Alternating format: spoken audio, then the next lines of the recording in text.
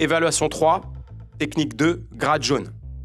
Suite à une attaque double de jambes contre la cage, le combattant B fléchit ses appuis, pivote ses hanches à 45 degrés contre la cage, entoure avec son bras gauche le bras droit de l'adversaire, saisit avec sa main droite le poignet gauche de son adversaire afin de casser son grip.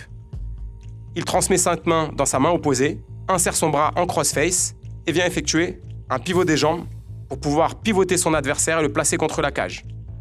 Il veillera à placer sa tête dans la gorge de l'adversaire, insérer son bras droit entre le bras gauche de l'adversaire et son buste et saisir son poignet.